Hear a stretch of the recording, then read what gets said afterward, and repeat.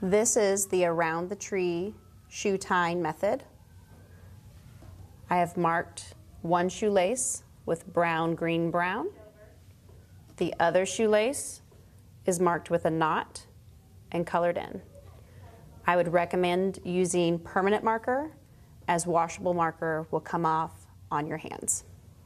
We start with a song. There are two strings, there are two strings. Then they cross, then they cross. Top one goes under, top one goes under, then pull tight, then pull tight. Match your browns, make your tree. Grab the bunny, he goes around the tree. He got scared by a wolf. He goes in the hole. Grab the bunny and the top of the tree, pull tight. Next we do the double knot. There are two ears, there are two ears, then they cross, then they cross.